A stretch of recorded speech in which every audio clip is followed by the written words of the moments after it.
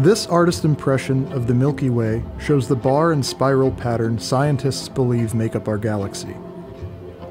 Within the central bar region lies a mysterious structure called the tilted disk that is made of ionized gas. As we zoom into the position of Earth, just a small piece of this tilted disk is visible.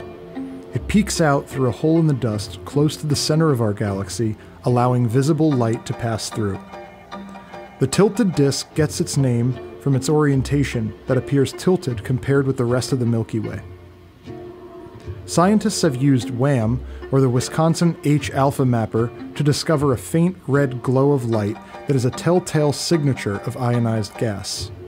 By comparing other colors of visible light coming from ionized hydrogen, nitrogen, and oxygen, scientists can diagnose the source of ionization.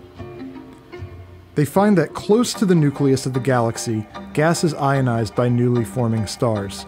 But as you move further away from the center, things get more extreme and the gas becomes similar to a class of galaxies called LINERs. This is much different than how gas outside the bar is classified. This mysterious type of gas has an unknown source of ionization, and the Milky Way can now be used to better understand its nature.